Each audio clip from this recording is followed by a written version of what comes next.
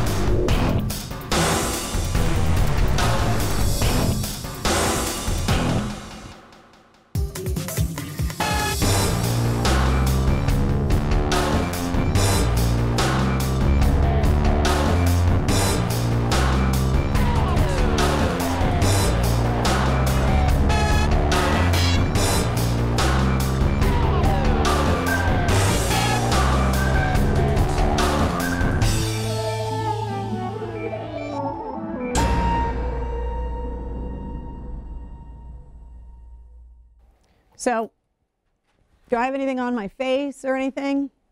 I think it's time I go down to the studio and scare the crap out of Mike Hsu. So thanks to Will and everybody at Fright Fest at Six Flags New England. Happy Halloween.